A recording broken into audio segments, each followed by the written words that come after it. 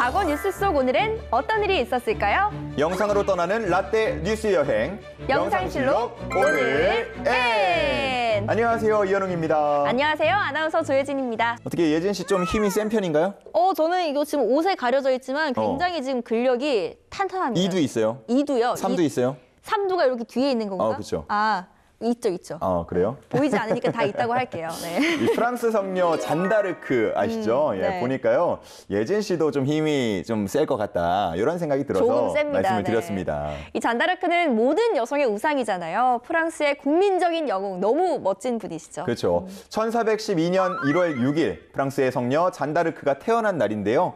그날 과거 속으로 함께 가보겠습니다.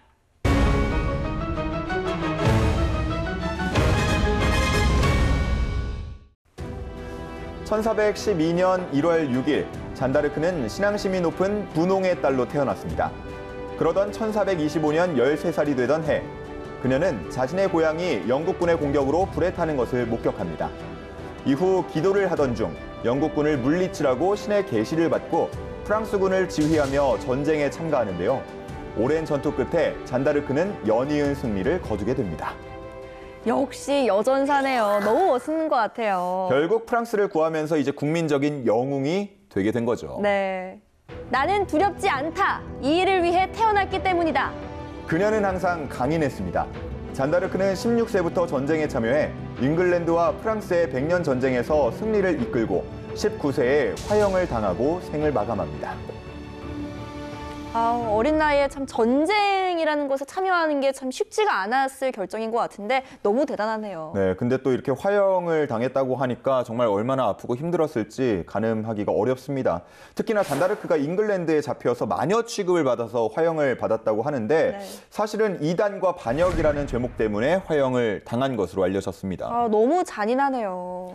네, 그래도 이제 잔다르크가 사망한 후에도 이 정신만큼은 프랑스에 계속 살아남아 있는데요. 다양한 작품에 등장시켜서 재해석하고 있죠. 네, 이 종종 깃발을 들고 갑옷을 입은 채로 백마에 올라탄 기사의 모습으로 등장한 거 본 적이 있는 아, 것 같아요. 그렇죠. 네. 그 이미지가 갖고 있는 힘은 정말 시간을 초월해서 계속해서 길이길이 좀 기억에 남을 것 같다는 생각이 듭니다. 네. 자, 다음은 1996년 1월 6일로 떠나보겠습니다. 안녕하실 테죠? 네. 제가 김광석입니다.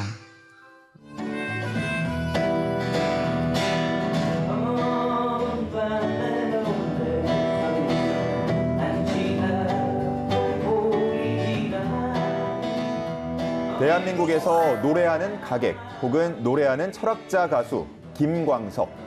어, 저는 뭐 제 직업에 그냥 충실하게 어, 지내고 싶어서 공연을 열심히 했던 것이고요. 그러다 보니까 천회가 채워졌는데 막상 채워지고 나니까 뭐 이렇게 다른 분들이 많이 이렇게 이- 말씀을 해주시니까 오히려 제가 더 아 천회 됐네 이러고 부담감을 가지는 것 같은 느낌입니다. 1996년 1월 6일 노래하는 음유 시인 김광석 씨가 33살의 나이로 세상을 떠났습니다.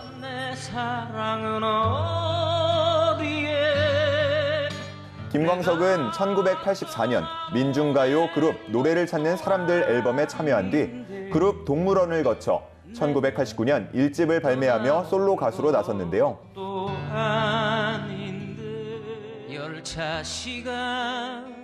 그는 서른쯤에 어느 60대 노부부의 이야기, 사랑했지만 이등병의 편지 같은 많은 명곡을 탄생시켰습니다. 뜨거움 당시 그의 사망 소식을 들은 많은 이들은 큰 충격에 빠지고 말았습니다. 멜로디로 이야기한다기보다는 그냥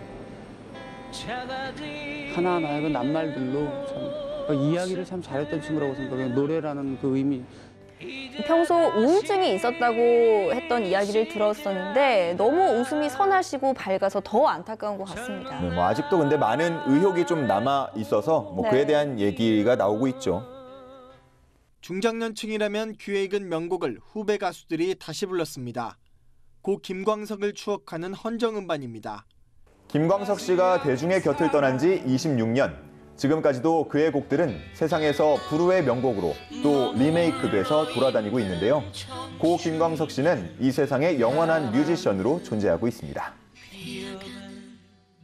저는 그 고 김광석 씨 노래 중에 아이유 씨가 음. 리메이크한 노래가 있는데 잊어야 한다는 마음으로 어, 이 노래를 참 좋아하거든요. 자꾸 아. 귓가에 맴도네요. 맞습니다.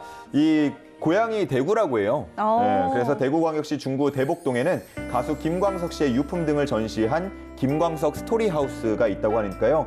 뭐 팬분들은 한번 가보시는 것도 좋겠네요. 네, 저도 나중에 꼭 한번 가봐야겠습니다. 네, 때로는 힘들고 또 지친 우리에게 위안을 주는 게 바로 김광석 씨의 노래가 아닌가 싶은데요. 음악으로라도 계속해서 우리 곁에 오랫동안 머물러 주면 좋겠습니다.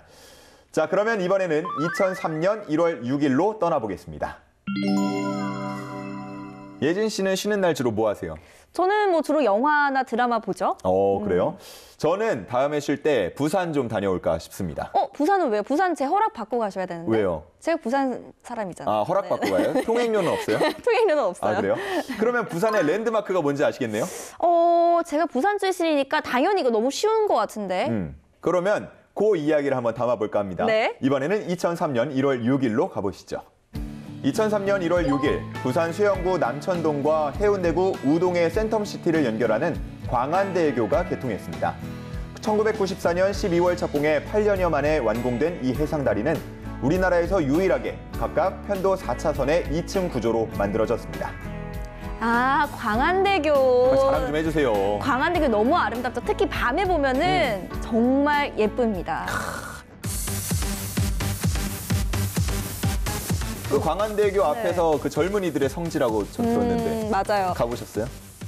아, 소문만 듣고 저는 네, 젊은이들의 그 성지나 뭐 그런 느낌, 기운을 받지는 못했어요. 공부만 열심히 하느라고. 아쉽네요. 네, 아쉽네요.